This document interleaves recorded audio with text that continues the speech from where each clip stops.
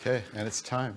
Uh, so uh, I'm Tim Orling. I'm work for the Konsulko Group, um, and today's talk is uh, Tales from the Crypt, uh, implementing Secure Boot and disk encryption on Tegra platforms. So let me start off with the straw poll. Um, how many people are here because they've heard about Secure Boot and they need to know more? Okay. How many people are here because they heard about disk encryption and they need to know more? Okay. How many people are here just because of the Tegra platform in particular? Very hardware specific. Okay. Um, cool. Uh, so Konsulko Group, uh, we're a services company. We specialize in all kinds of embedded Linux stuff. We have a lot of very highly skilled staff that can solve a lot of problems for you. So uh, we do hardware, software, all kinds of things. We're actually based in San Jose, California, but we have engineering presence in Sweden, uh, Bulgaria, uh, uh, Portugal, Greece, United States, Canada, so all over the, the place. Uh, I always include my abstract just so that people who are writing new presentations can actually see what it was that got accepted. Um, and hopefully it's a hopefully I, I, I, stay true to the abstract as to what I actually got done. Uh, so here's the agenda. So why is it Tales from the Crypt? Okay, this is a war stories talk, okay? Because I want people out there to realize that even folks that are like really have been around for a long time doing this for, you know, 10, 20 years, like our life is banging our head against a wall until it breaks and then you run and then you find another wall and you bring, bang your head against the wall and, and it breaks. Okay. So the cool thing is once you break that wall down, you get to the other side, you get to do the happy dance, right? And so that's a little bit about what I wanted to talk about today. Um, I will assure you that I'm actually giving you, you know, links to fully functional things that will really help you um, in, in the case of the secure boot and uh, disk encryption, especially on the, the Tegra platforms. So we're going to start off talking about secure boot, and then we'll go into disk encryption, and then I'll talk about future work. Uh, another thing about embedded space is nothing ever stands still. So secure boot. Um, NVIDIA has got a, a, particular implementation. I think from a hardware standpoint and software standpoint, this is actually one of the better ones out there. I, I was really pleased when I did the assessment of, of how this stuff is working. Uh, so you've got keys or a hash of a key. So you got a, hash of your, uh, your private key or hash, hash of the public key for your private key, for instance, will be in burned into the fuses. Uh, burned into the fuses, that's an important thing to know. Um, and then there's also this uh, encrypted key storage uh, partition, and this has additional keys in it. So that one is unlocked by the ones that are in the fuses, right? So you've got a ROM that then looks for something that's secure, and then it opens up another layer of, of you know security and another layer of security and another layer of security, right? So there's uh, this uh, trusted operating system. Um, at the time that this development was done. It was called Trusty. Uh, I'll get into where they're going with OP-TEE in the future after that. Um, once you've gotten into uh, your initRD, now you have client applications that can start to query those trusted applications for keys. They're going to do things like unlock your disk partitions, right? So this is kind of about four layers in already in terms of uh, stuff that's secure and encrypted and, and trusted before you even got to unlocking the disk encryption. Um, so there's a, a, couple of example applications um, for Trusty and also OP-TEE, uh, the hardware key agent and the luks-srv um, trusted applications. There's, there's client applications that talk to that. Um, in general, for secure boot specifically, there's multiple levels of, po of uh, possible security. The initial thing you have to have is the the PKC, the public key um, cryptography. So this, you cannot flash the device without, you know, once it's been public, uh, public key encrypted or, you know, set up for secure boot, you can't flash it without knowing what your public key is.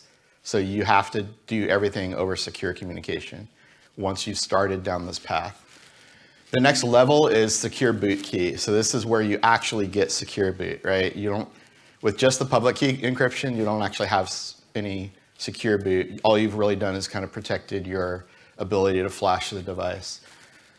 On top of that, you can also do user key, and this is where you want to start to encrypt your kernel, or it's also used in the uh, disk, disk, encryption. So there's kind of these three layers um, of progressive optional you know, security that you can do specifically for secure boot.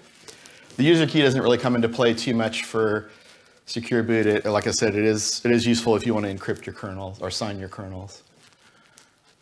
Um, so secure boot is not one size fit all by any means, right? It is really, really specific to different platforms, how it works. So most of my experience was on Intel platforms, which is entirely different than what we're talking about here in terms of secure boot.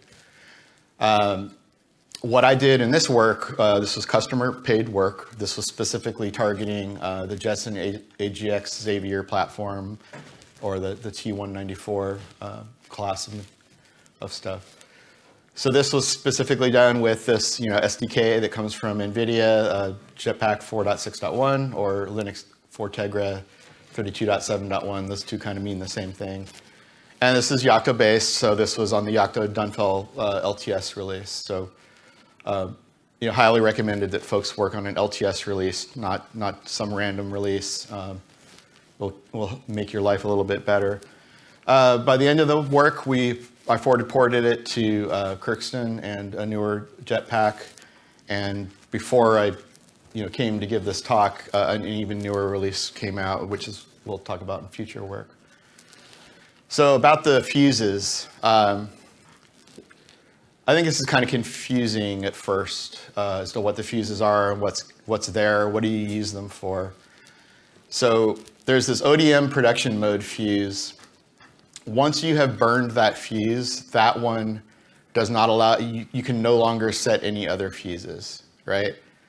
So this is it. If you, if you set that fuse only, you can't do anything else right? So um, in practice, I think for secure boot, you really absolutely are going to be focusing on the public key hash. So that's you know your RSA uh, 2K bit or 3K bit on this platform. Uh, private key, get the public key hash of that, and then or the public key from that, and then they make a hash of that. That's uh, 256 bits that they flash into memory or into, into fuses. Um, and then there's the secure boot key, and this is again what actually allows for secure boot, right? So that, that's also needed. We've got these other keys. So there's the key encryption key zero and one. Um, those can be used by any of your client applications to talk to the trusted applications to get a key for whatever purpose you need a key for. This could be anything, right? You want a key to talk to some cloud provider service, right? And that, that could be what you use it for. Those are kind of like user, user keys. There's also this option on the, the AGX Xavier platform to do the KEK 256. That's just a combination of the two 128-bit keys into one key to give you more, more bits of security, right?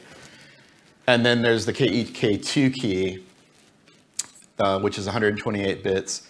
This one is what is used in the default Linux uh, LUKS encryption, disk encryption, is the KEK2 key. So that one's kind of important later. Uh, in the slides, there's a link to where these all came from in the documentation. So, big, big warning, okay? It's called a fuse for a reason, all right? It's a fuse. Once you turn it from a zero to a one, you're done, okay? So, the boards ship with all the fuses at zero, except some stuff in the middle that NVIDIA has put in there that's that's uh, device specific, right? Um, but NVIDIA recommends burning all the fuses at once at the beginning, so plan ahead, right? So in practice, I would say for development purposes, you're going to want to have production key, or sorry, the public key, the secure boot key, and if you're trying to go secure, I would do KEK 256, uh, right, for your user key. But if you have maybe two different applications that want to do something with a key, you might want to use both zero and one. And then the KEK2 is again going to be used for, for disk encryption later. Uh, keep your keys in escrow. So by that I mean, you know, make a tarball of it, put it somewhere, right? Keep it safe. Even for, for development purposes, right? You still want to keep it safe somewhere because once you've burned these keys, you have to have them in order to talk to your board anymore, right?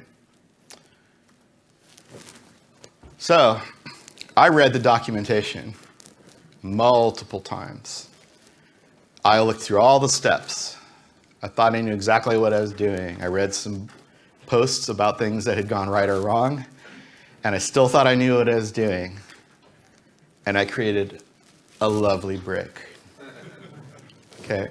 So my guess, it's just a guess, is I was on a, a slightly older release that may have had a problem with an RSA 3K key. So it may have created too big of a hash and overwritten one of those magic things that's in the middle that NVIDIA has flashed into the fuses.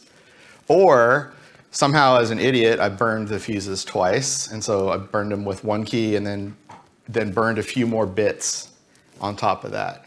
But what, no matter what happened, what, you know, what ended up, and there's a link to the forum post that I did where this board's just not going to come up anymore. It can never get out of ROM anymore. Just done, right? Not a happy day.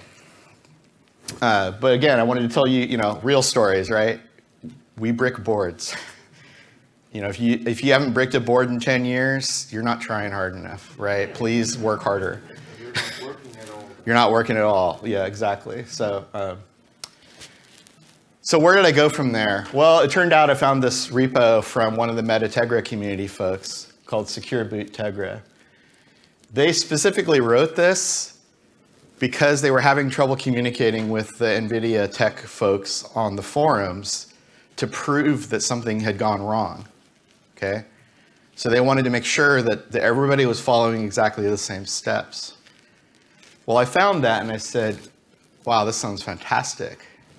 And so it turns out, I modified it a little bit, but you can generate your keys.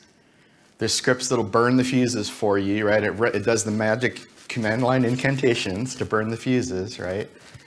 Um, then you can actually flash an Ubuntu-based OS to your target that is now secure boot ready, right? So you can absolutely prove secure boot's working. You have no doubt whatsoever this is secure booting, okay? Which is a nice, comfortable place to be before you start going into Yocto land and ripping everything apart and doing whatever you're going to do with it. Um, so paranoia. I originally started with the Debian 11 system. This version of the SDK says it supports Ubuntu 18.04, and that's it.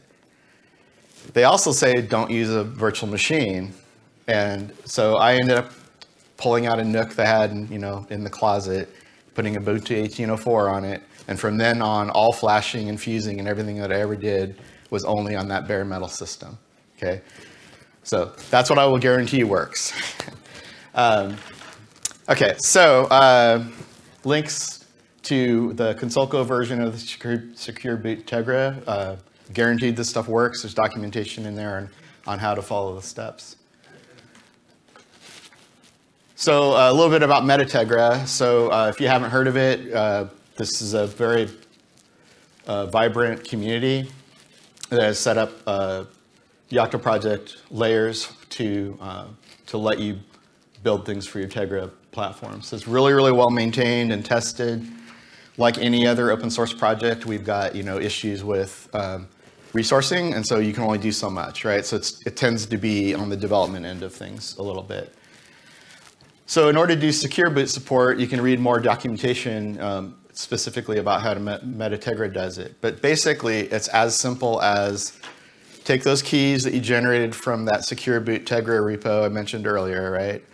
Take those keys, put them in your build directory, and add this to your, uh, to your local.conf. So you're gonna add the RSA private key, and you're gonna add your S SBK uh, secure boot key uh, to that. And the resulting image that's built is installed just like any other thing would be that you built with MetaTegra. Because of the fact that you told it these keys, it built that into all the scripts that are going to run And so when you run do flash, it's just going to flash it for you.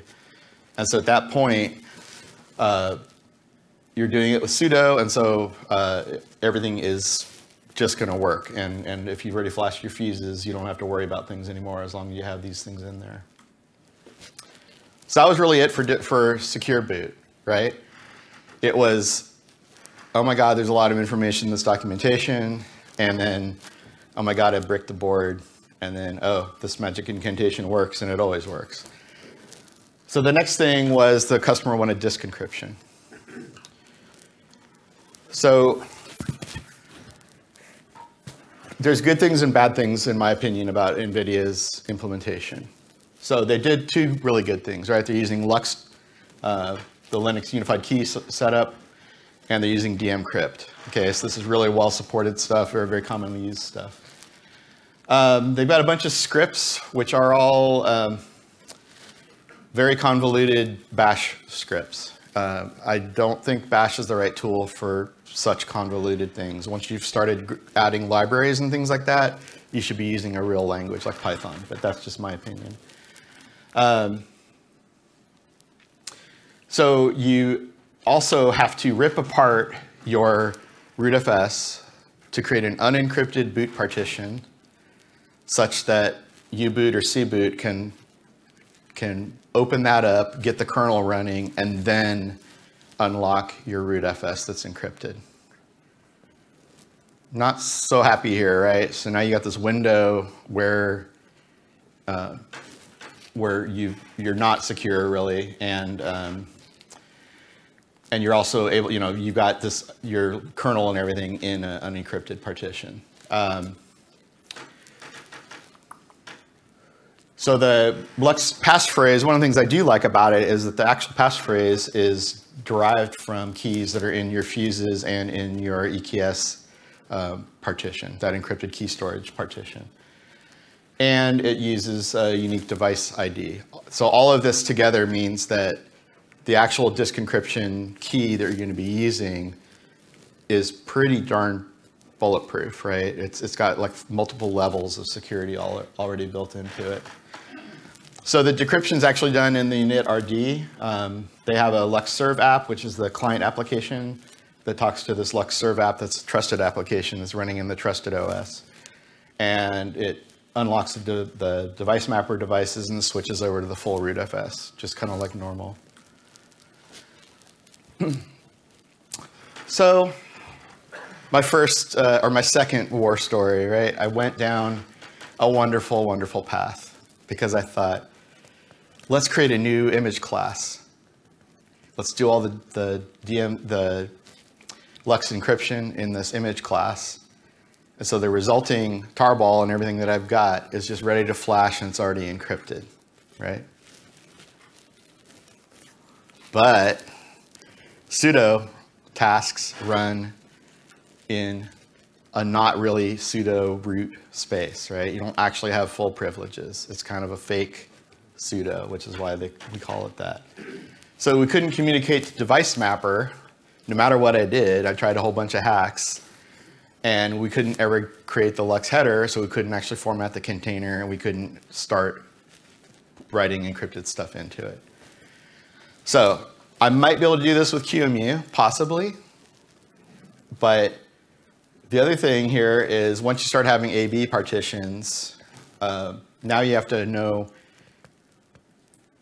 everything about your entire, you know, all your partitions and, and everything ahead of time. And it's kind of a bad assumption to know uh, what your A and B partitions are going to be, right? Because they're supposed to be interchangeable.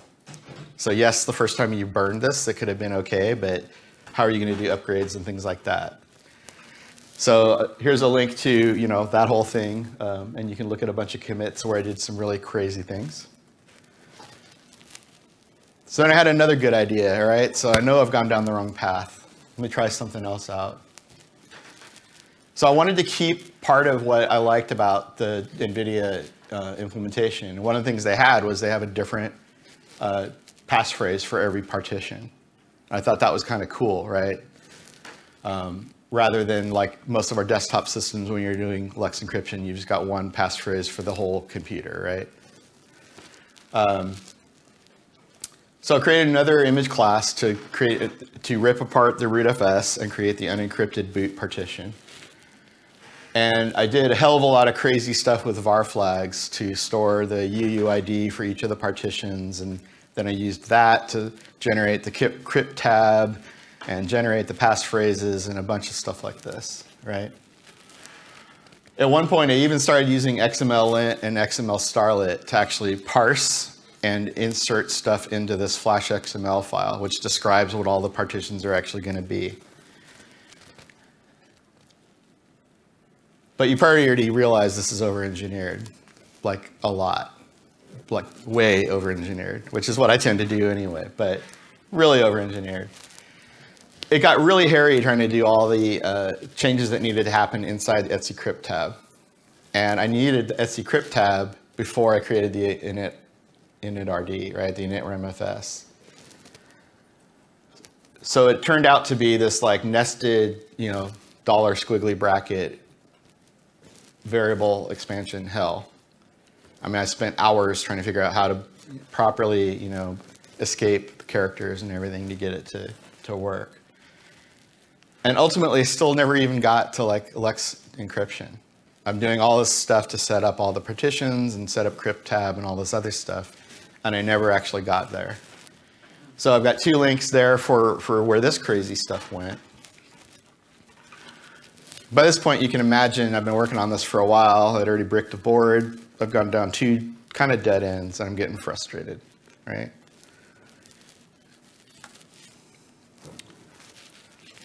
So I did find a solution, and it wasn't, I didn't author it, I, I augmented it, but what if we don't rip apart the rootfs? Okay, what if we don't require the unencrypted boot partition? Can we do that? Because that sounds better to me. What if we perform the disk encryption on the device rather than ahead of time on the host, right? So if you're doing it ahead of time on the host, that means your factory floor has to have the keys and then they have to create the new rootfs for every single device, and then flash it. That is not production ready, right? This is one of the biggest failings, in my opinion, of what you know NVIDIA was putting out as their implementation. The other cool thing is that this approach allowed us to sign for secure boot independently of the disk encryption completely 100% divorced. You can have either one or both together. So bonus, I think it's way more production friendly because you can actually sign, send your images off to a secure enclave that has you know, your keys stored in a HSM and actually do the signing there. And uh, the images can then be installed on the factory floor without needing to know a whole bunch of information and special bonus, OTA updates just work because there's nothing special about your OTA bundle and it's already going to be installed onto, a, onto an encrypted system. So uh, I use uh, Tegra Test distro. This is there's another distro called Tegra Demo distro. Um, they're part of the Meta uh, Metategra community. So this was created by Matt Madison, who's actually the, you know, the godfather of Metategra. And it, what it has is a two-stage approach. It starts off by booting into a system installer. So it's got a special initramfs that knows about your flash partition table and it writes those things out, creates all those partitions, creates the LUKS headers. It takes your real rootfs and writes it on device into the encrypted partitions now. And bonus, it installs a bootloader update. And so when this system reboots, all signs of the installer operating system are gone, right? So now you're just in your purely secure booting system with everything disk encrypted. So how long does this disk encryption take on disk? Like a minute. Who cares, right? It's nothing. So it's really cool. So I really love the fact that it decrypted, or, or sorry, decoupled secure boot from LUKS, because um, everything's happening on the, on the, the device. So what do you do to enable that? So basically, we're abusing a machine override by telling it to be crypt parts, right? So we're telling your machine, you have this crypt parts capability. And that just stands for crypt, cryptographically signed partitions, right? We do need to have the tarball that we're going to actually install. And so not just the normal Tegra Flash, uh, which is the normal image class that you use to, to have the flash scripts and everything to flash to your device, but we need the tarball because that system installer is actually going to have the tarball present and then it's going to install it. Um, all your partitions that are actually going to be encrypted, all you have to do is put a crypt dash in front of it. And the scripts are actually going to look at that and see this needs to be encrypted, add it to the, crypt, the scrypt file and things like this. And it basically just kind of magically takes care of everything for you. The one cool thing that I didn't know about at this time, you know, looking at these crazy Flash XML scripts was you could use ID equals number and actually specify which partition number to use. This is kind of important because on a stock system, it's got 46 partitions. Anybody want to guess what any one of them does? I mean, some of them have some names that make some sense, some of them don't. So it was kind of confusing. So once you've set these, these things up, you just uh, do bitbake tegra sysinstall. So this creates the special sysinstaller image that has that special initramfs that does all this auto install for you.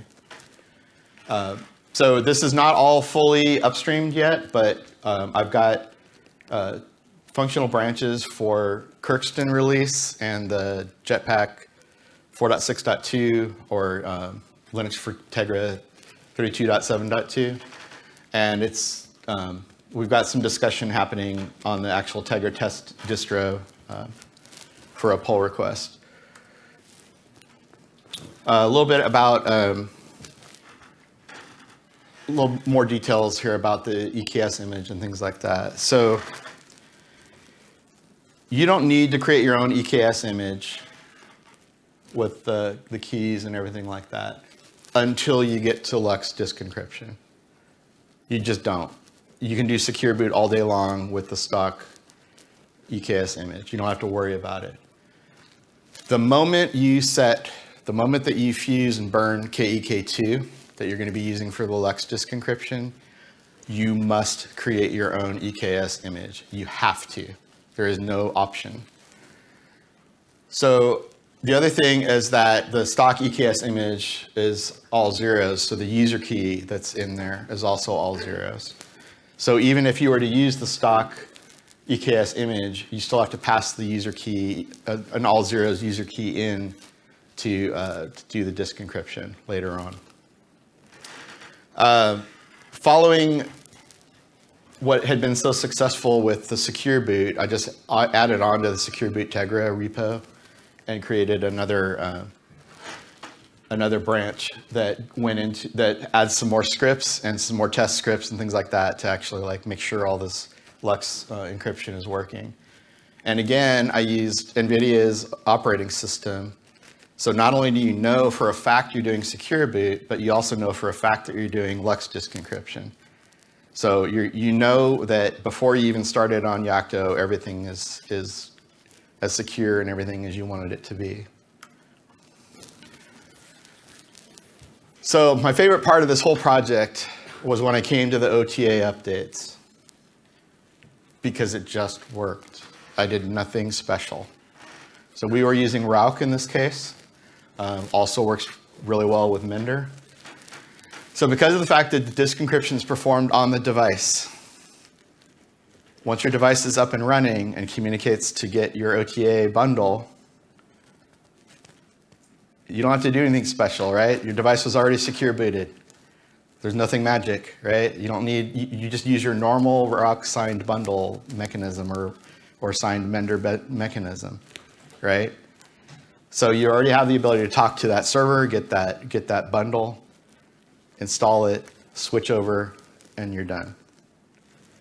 Um, I can't tell you how happy I was that that was just done. It just worked. Like it never, I never had any problems with it whatsoever. It's just normal procedures for OTA updates.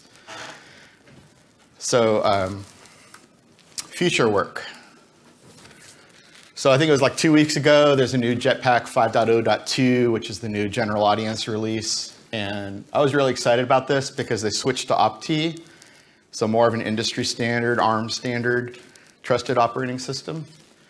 Uh, they switched to UEFI instead of their C-boot bootloader, or we had actually hacked things to work with, with U-boot, but it's just nice to have them standardize on something, right? And I think with uh, system ready, ARM systems are going to UEFI being required. And also, no more 4.9 kernel, it's 5.10, right? It's not 5.19, it's not 5.15, but I'll take 5.10 over 4.9 any day of the week, right? Please. Um, the cool thing is they also ported the luks-srv uh, trusted application, the luks-srv app client application, and the hardware key agent and hardware key app. Uh, and so those are there. They're ready to for us to you know do some more testing and everything in the Tegra community. But um, but it's promising that I might actually be able to get all of this to work on the new system pretty simply. You know, famous last words. Um, so they, they moved from cboot to UEFI 4.9 kernel to 5.10 kernel. And you can at least use it in Ubuntu 2004 host. But you're not stuck on 1804. Because every time you run 1804, it says, hey, there's no more updates. Are you sure you want to run this kind of, you know, stuff? Um, the only caveat is it only works on these um, AGX Xavier, Xavier NX, and the new AGX Orin um, platforms. So the old TX1, TX2, and so on, those, those aren't supported anymore. I think NVIDIA just wants you to move only to the new hardware. Uh, so the other thing that I'm working on right now is actually taking the components that I have in that, that feature branch that totally worked for, for the test distro and getting some stuff into um, the demo distro, which is the more community supported thing. It goes through CI and that all the time. Uh, so there's this special, the, the, thing the thing that does all the magic in that auto installer is uh, Tegra sysinstall. So that's going to have to be added. Um, I need to add in, you know, into these, into Tegra demo distro, we need to add in the crypt uh, initramfs. Need to make sure we got CI and tests actually like making sure this stuff's working you know, as much as possible. And in the short term, you know, just because I already have it all working, right? And I know it works, I'm going to be pushing up the existing work that was fully functional, get that out there. And then we're in the middle of uh, working with Langdale, the new Yocto release, 4.1 release, and the Jetpack 5.0.2 stuff. Um, mostly the Jetpack 5 is working. Uh, meta-tegra community, we're all working on this stuff, um, testing it out. There's a couple of hiccups here and there, but you know, looks pretty good so far. There's a couple things that don't quite seem like they should have been claimed to be production, uh, but it's not too bad. Uh, but in particular, I haven't tested any of this stuff out because as a contractor, I move from project to project. So, you know, I'm not, we're not working on this specific thing right at this moment but uh, but all this stuff will be upstreamed. So um, I really want to thank Matt Madison for all that he does for the Open Embedded for Tegra community and specifically the stuff that I got to piggyback on top of from Tegra Test Distro and so on. And uh, Ilies Chergui, he, he did a lot of uh, early testing on stuff that I was trying to get out there for the community and uh, found some typos and things like that. So it was really helpful to have that. And I really want to thank the OE4 uh, Tegra community for um, just being really excited that I was working on this and, and really being excited to, you know, answer questions or test stuff out and everything. It was just really awesome. You know, I think we're all here because this is open source and we're all into community. And it's just awesome when that's reinforced by a community you've never worked with before and they just accept you and, and, and work with you on it. And that was just awesome. So uh, I think we've got some time for questions. About six minutes. Yes? You mentioned that the trust chain is broken in the Jetpack because the initramfs isn't uh, verified. Uh, how did you deal with this? So the initramfs could have been signed, but the uh, the way that NVIDIA was booting it, it was actually booting from the bootloader into the unencrypted boot partition, and then from then on it was encrypted, right? So the reason they had to do it that way was the way that they were doing the, so they were doing the um, encryption first and then signing everything and then, then flashing it. So because of the fact that we're doing those two, two things completely separate and doing the encryption on target, that meant that the signing is completely 100% independent. So all the secure boot and all that kind of stuff that was, you know, was needed in order to be able to even unlock the initramfs, all that stuff's just already there. Um, and so basically, you know, cboot just hands straight off to uh, an initramfs, which has already got the ability to unlock the the uh, partitions because it can talk to the trusted um, applications. But don't you need to verify the initramfs? Otherwise, you could just put your own in and read out the keys. But it's signed. Signed. Yes, Okay. yes. So that partition is signed. So that partition could never have been loaded. It would barf at you because it wasn't wasn't signed. Yeah. So uh, I will say that I did all uh, I did a lot of the work without ever doing any secure boot. I just did pure LUKS disk encryption. So in that case, yes, I was vulnerable to the attack you're talking about. But ultimately, once you were doing the full secure boot and everything, um, the initramfs and everything was signed. Thank you. So, um, when the partitions are being encrypted in initramfs, Yep. uh, what kind of init system was initramfs using? Like initramfs Ah. framework, a module, or?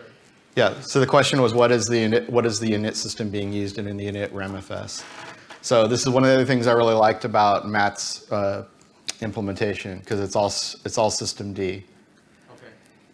So I know that people have they groan about systemd because it's a little bit heavy on embedded systems. I understand that, right?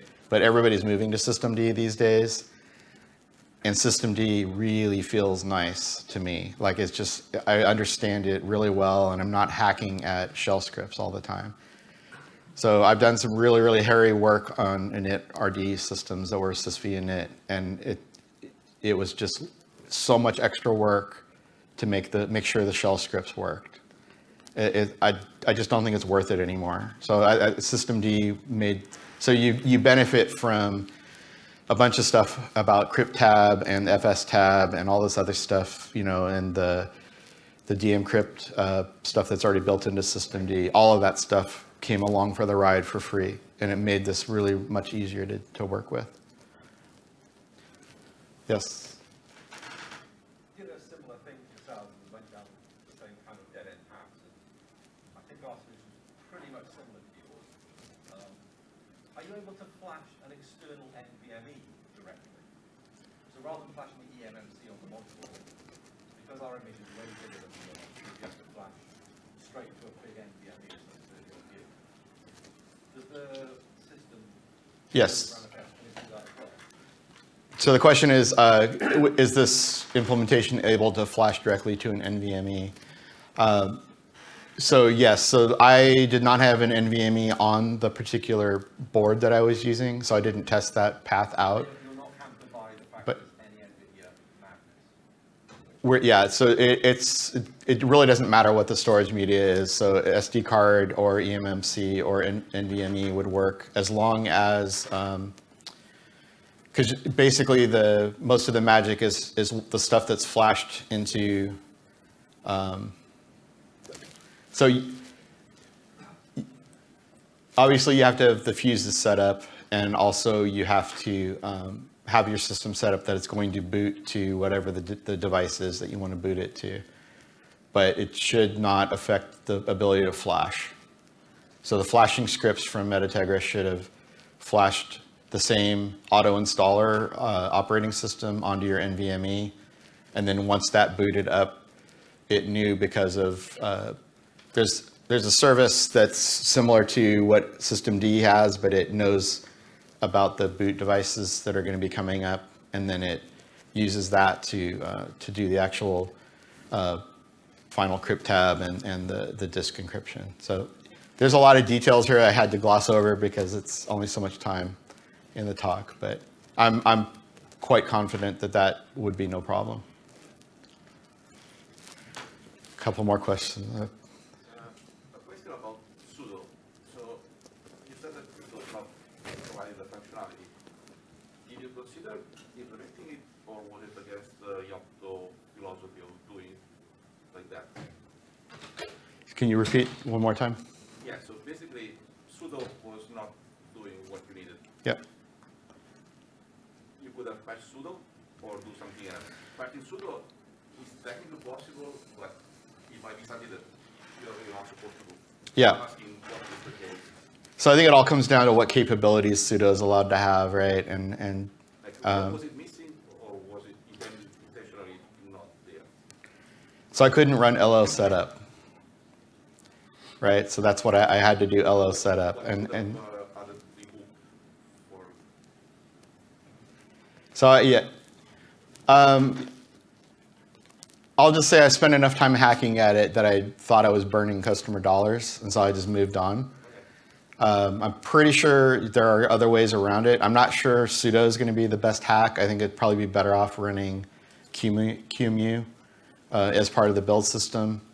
Um, NVIDIA did everything in a chroot, but you know, it just started to get pretty ugly. I, I did some pretty pretty heavy, heavy hacks to try to get things to work, and it just wasn't getting anywhere, short of actually patching pseudo. So, you know, it's it's possible. I, I'm not I'm not sure, to be honest with you. We had at least two others. Uh, I'll go to the back. Oh, sorry, time is up. So uh, I will be at the Yocto Project booth the next couple of days, and you can see me in the hallway. And I love talking to people. So just you know, or find me on Twitter or whatever. I'm I'm really happy to talk to people. Um, and that's it. Thank you so much.